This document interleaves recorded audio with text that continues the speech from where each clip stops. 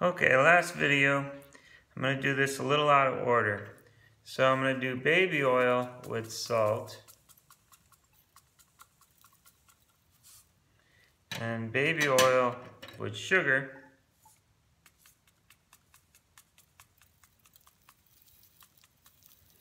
And then I know there is a blank on the table for sugar with salt.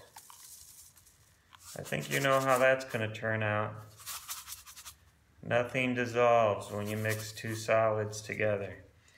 All right, but the baby oil with salt. Salt sits on the bottom.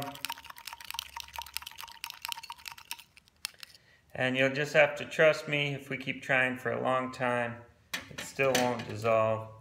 Also, the sugar in the baby oil will end up with a similar thing where the sugar doesn't really dissolve in the baby oil. All right, that's it for these videos. You should be able to use those data to answer most of the questions um, in the activity. Um, I'll make I'll, I'll make another um, printout of the activities with all of the answers in there, and you can check your answers. If I don't think we'll need any other videos for today, but if we do, I'll make some more later. Okay, bye.